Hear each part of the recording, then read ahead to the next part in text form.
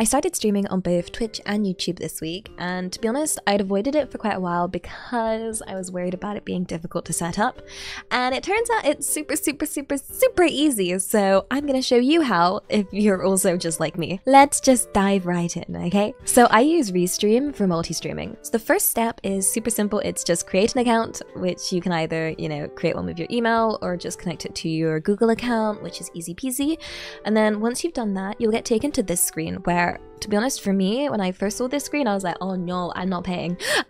Um, but don't worry, you don't have to pay, okay? It just looks like you, you have to pay. These are the upgrades. If you want all of these extra things, you can just close that and you'll be here on the dashboard and it's all good. So from here, we want to connect it to our streaming software. So in my case, I use OBS and I hope you do too. Yeah, we'll end up on this dashboard. This is the main dashboard that you'll be using for Restream, and we need to connect this to your channel. Okay, so adding Twitch is really simple. We just, you know, add and then pick Twitch, authorize the connection, and voila! Okay, and then with YouTube, basically, if you stream on YouTube, typically you'll have waiting rooms, so you'll want to connect it to what's called an event instead. So here we've clicked YouTube, we've clicked authorize, and we're just going to pick a waiting room. So for this case, it's my Sons of the Forest collab, which is in a few hours.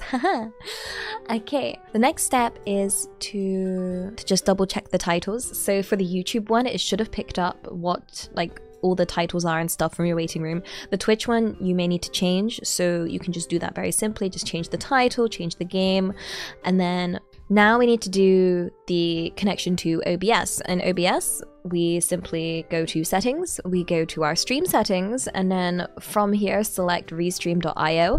And you can either get the stream key, which was shown earlier on the dashboard to copy and paste, or you can connect the account via logging in. The other thing I'd recommend doing before multi streaming is setting up your chat. So if you're a YouTube streamer like me and you need a Twitch chat nice and fast, they actually have um, a few options. They actually have a few options here on the dashboard. If you go into here, you can see they have a special one where it's just Twitch because Twitch do have a rule where if you're multi-streaming, you can't combine the chat boxes, okay? So here you can have like some themed chat boxes as well, which I think is really cool. They've got like Minecraft, League of Legends, Fortnite, etc.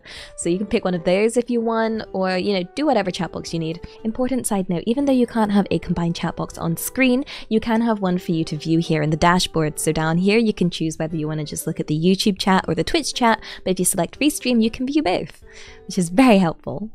From here, you should all be set up and you just click start streaming and it'll start streaming on both YouTube and Twitch. Easy, right? Yeah! I hope this helped. Um, yeah.